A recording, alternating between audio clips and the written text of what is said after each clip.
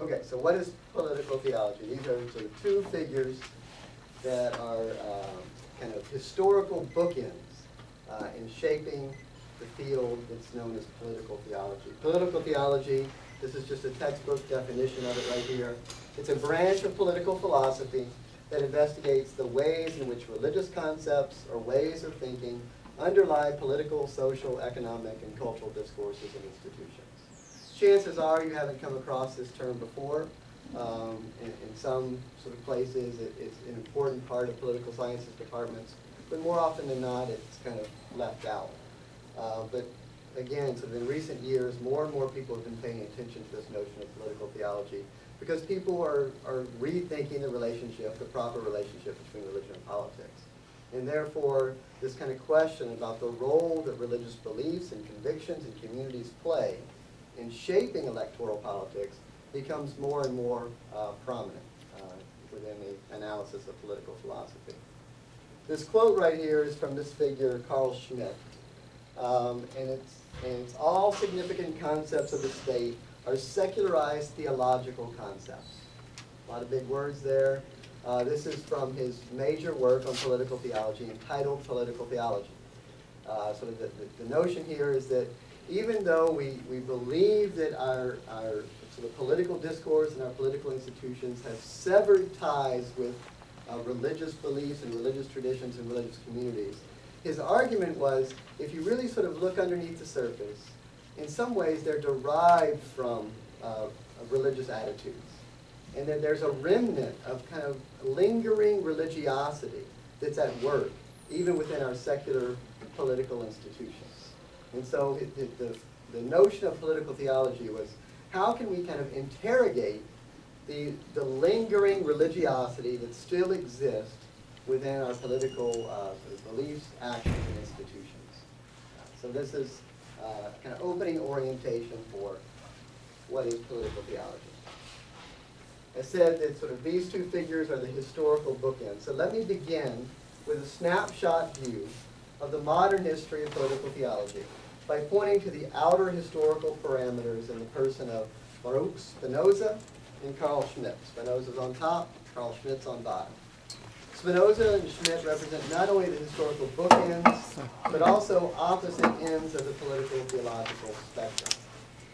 Modern political theology begins with Spinoza's theological political treatise from 1670 which inaugurates an eminent political theology that corresponds to a burgeoning democratic age.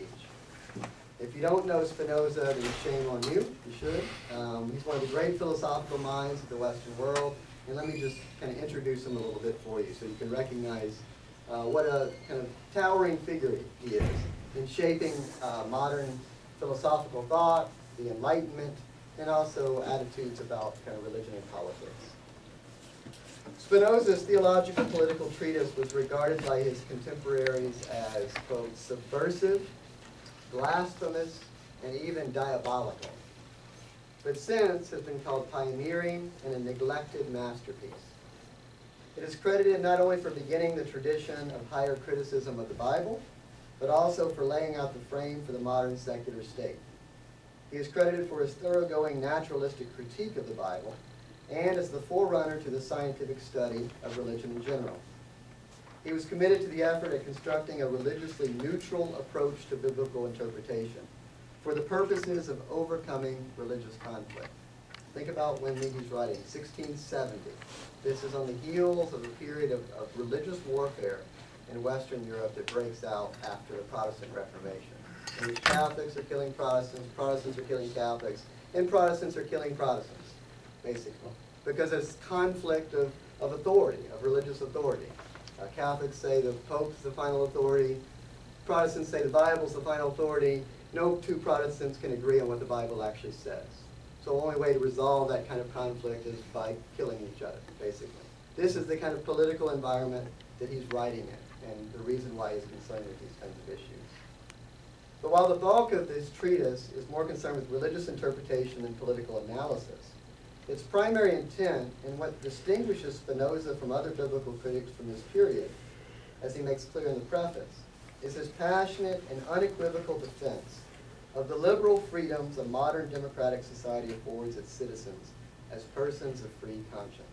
Quote, now, since we have the rare good fortune to live in a commonwealth where freedom of judgment is fully granted to the individual citizen, and he may worship God as he pleases, and where nothing is esteemed dearer and more precious than freedom, I think I am undertaking no ungrateful or unprofitable task in demonstrating that not only can this freedom be granted without endangering piety and the peace of the Commonwealth, but also the peace of the Commonwealth and piety depend on this freedom.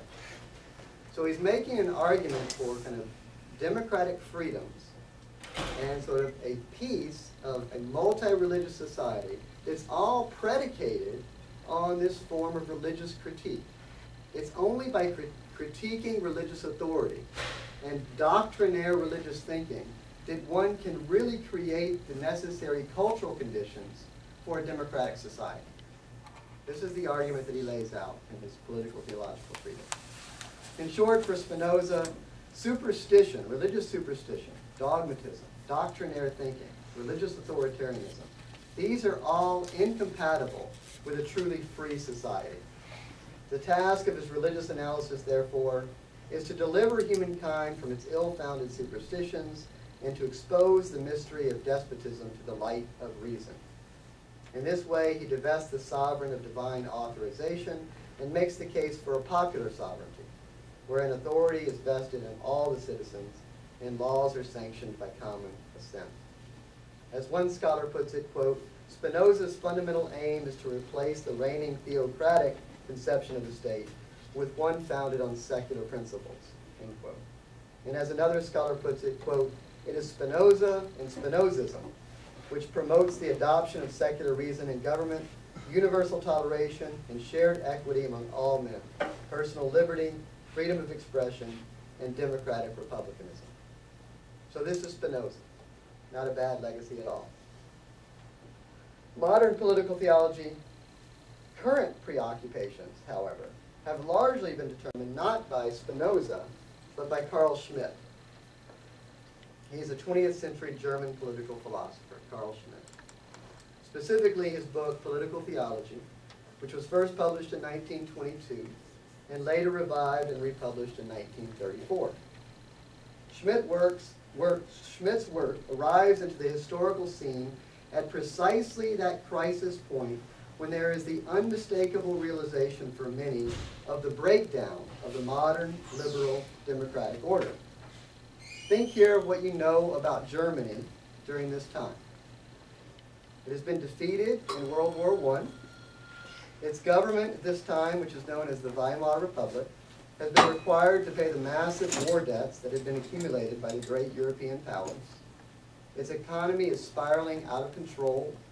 It's facing the problem of hyperinflation, widespread unemployment, and a burgeoning frustration and disaffection by its population that is easily translated into a populist fascist movement by which Adolf Hitler comes to power.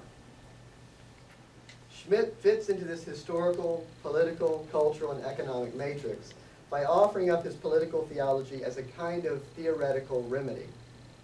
He eventually comes to be known as Hitler's, quote, crown jurist.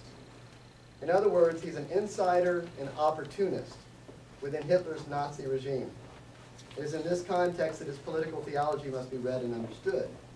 As such, it is easy to see how his work is a complete repudiation and reversal of Spinoza's political theology. So four points on this. First, whereas Spinoza heralds the beginning of the modern liberal democratic order, Schmitt chronicles or exposes or perhaps even hastens its end. Number two, whereas Spinoza's theology functions as a political propedeutic by using his critique of religious authority to create an open and free space for democratic reasoning.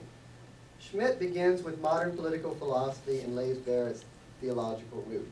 All significant concepts of the modern theory of the state are secularized theological concepts, he writes. By this assertion, Schmitt is calling for a return to a more traditionalist theological understanding wherein the legitimacy of political power is based upon a unified and coherent religious worldview, a return to an age of Christendom, wherein sovereign political power has its analog in and is derived from its vision of God as a sovereign and transcendent authority.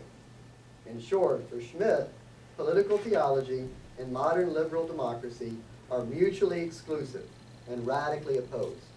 Schmitt is unapologetically anti-democratic. Number three, whereas Spinoza is the prototypical secular theologian whose eminent critique of religion, like Karl Marx's centuries later, was the beginning of a much broader political program and democratic revolution, Schmitt draws on a classical theological image of a transcendent God as a rationale for his critique of the contradictions and emptiness of modern democracy. And number four, finally, whereas Spinoza was almost the prototypical iconoclast, leaving him an outsider twice removed, as one scholar puts it. To the Jewish community, he was declared officially a heretic who was excommunicated at age 24, and to the Christian community, he was still regarded as an atheist Jew, regarded by his contemporaries as, quote, the most impious and most dangerous man of the century, end quote. Schmitt followed his powerful critiques of the foundation of the Weimar Republic by becoming a supporter of Adolf Hitler and a member of the Nazi Party. So Spinoza, the classic outsider, Schmitt, the classic insider. The point of this brief snapshot is a simple one. At present, it's not Spinoza, but Schmitt, along with his anti-democratic thrust and bias, that cast a long shadow over the entire field of contemporary political theology.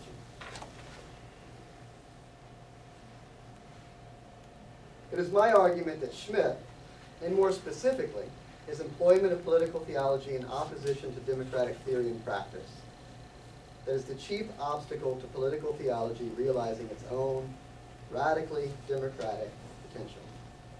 My argument is that by Schmitt's conflation of democracy with modern liberalism, Schmitt effectively throws the baby out with the bathwater.